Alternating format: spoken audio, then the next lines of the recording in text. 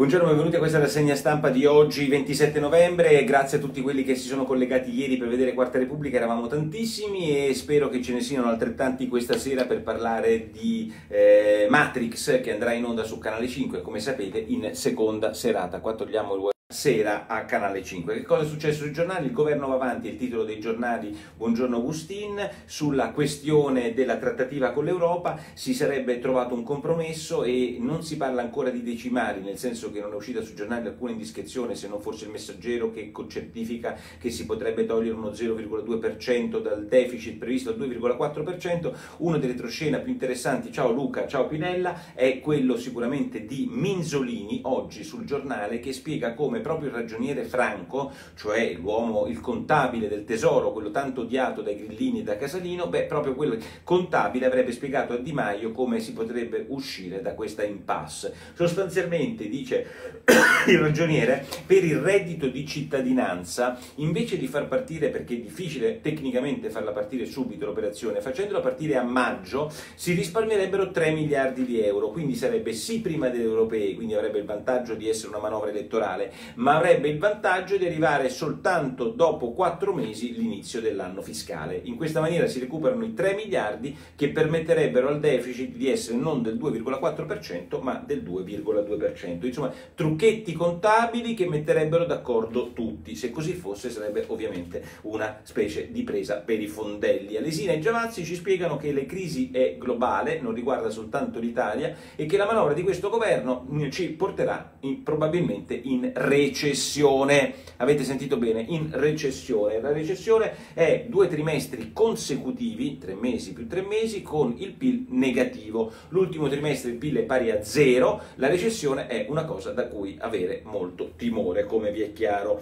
Ehm, non puniteci fino alle europee, invece è il retroscena della... Ehm, della Repubblica, cioè eh, a Repubblica sostengono che la trattativa del governo Conte e di, di, di Maio e di eh, Salvini sia quella di chiedere all'Europa eh, sostanzialmente di prendere tempo in maniera tale che non arrivi l'efficacia, non l'efficacia, la sanzione certificata prima del, eh, delle europee di giugno 2019. Io penso che proprio l'anello al naso qui che entra qua ed esce qua, un bel anellone. Juncker, nonostante non sia sempre sobrio, Dobrowski e Moscovici e i tecnocrati europei non ce l'hanno e quindi queste sanzioni, posto che anche loro stanno facendo campagna elettorale, se arrivano, arriveranno prima delle europee. Ma Repubblica invece pensa che loro ci possano cadere. I giornali oggi, tutti interi, si occupano della morte di eh, Bernardo Bertolucci. L'unanime, unanime considerazione è che è morto un grande regista, l'unico peraltro, come nota oggi Tornatore, ma anche Merenghetti sul Corriere della Sera, che ha mai regista vinto un Oscar, perché abbiamo vinto tanti Oscar, ma mai per la regia evidentemente se non con Bertolucci, cosa che non mi, che non mi ricordavo.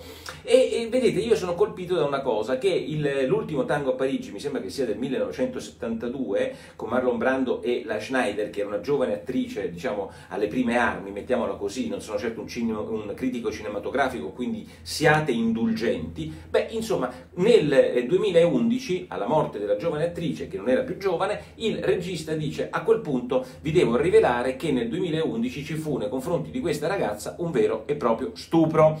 Il sesso che ebbe con Brando, il sesso anale che ebbe con Brando e quel famoso panetto di, di, di burro che tutti quanti voi ricordate o se non ve lo ricordate disgustosamente è diventato il tema fondamentale di quel film, bene, o uno dei temi fondamentali di quel film, fu fatto all'insaputa dell'attrice. Non era nella sceneggiatura, non era scritto, non gli era stato detto, ehm, era un'operazione che voleva fare Brando e che il regista disse, bene, così è più vero, così è più vero. Quindi lo stupro è più vero. Allora io dico, queste femministe, Natalia Aspesi che oggi in maniera obliqua ci gira intorno, ci fanno due palle così su Dolce Gabbana, sul cannolo, sulla um, pubblicità sessista. Io non dico che ricordino gli anni 70, perché gli anni 70 sono andati, diciamo, in paradiso, ma che oggi non ricordino come quel grande capolavoro sia una grande violenza sessuale, è una cosa che mi fa venire il sangue al cervello. Chiaro? Non è che va bene tutto perché l'ha detto Bertolucci, il grande maestro può far trombare senza il permesso una sua attrice. O no?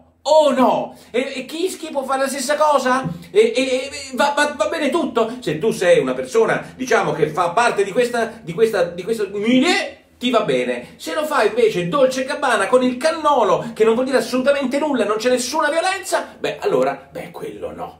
Allora io questo mi stupisco, che oggi le nostre verginelle del MeToo, zitte e mute, una che alza il sedito, poi la si può anche contestare, gli si può anche dire guarda che ma la si contesta esattamente come la contesto sul cannolo, ma che siano semplicemente silenti mi viene veramente, mi fa veramente vomitare. Vabbè, eh, Paolo Barilla, bene, andiamo a delle cose serie, oggi intervista al Corriere della Sera in cui dice una cosa sacrosanta per combattere l'obesità minorile, noi faremo di tutto, ma il punto sostanziale, cari amici, non è quello di tassare le bibite zuccherate. Chapeau a Barilla.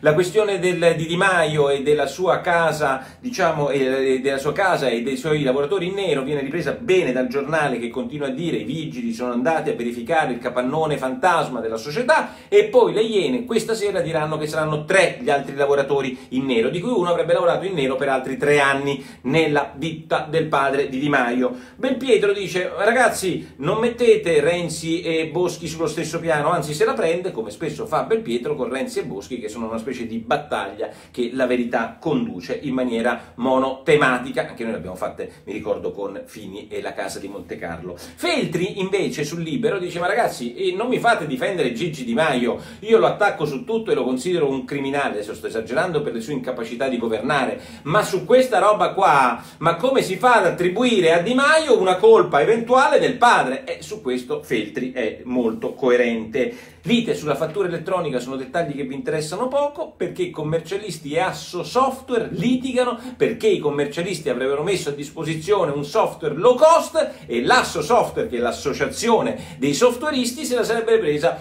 con eh, i commercialisti che avrebbero fatto questo software. Beh, insomma, nella dramma della burocrazia e del castello kafkiano del eh, fisco italiano, oggi Italia Oggi ci racconta anche questo piccolo dettaglio riguardo alle battaglie corporative operative.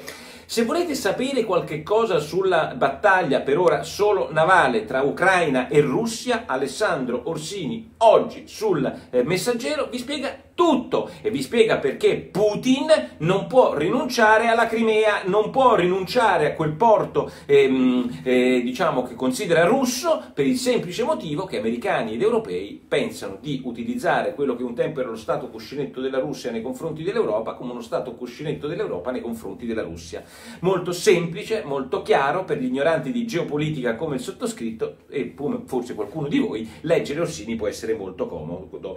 Terzo valico è lo scoop del messaggero, sarebbe da fare quello che penso sia la ferrovia diciamo, che da Genova arriva a Milano, insomma il terzo valico per le merci, eh? quello che dovrebbe eh, sbloccare il porto di Genova con la zona più produttiva del paese, beh è da fare secondo l'analisi costi e benefici, ma il report dei saggi del Ministero delle Infrastrutture sarebbe stato secretato, questo scrive il messaggero da Toninelli e allora vale tutto.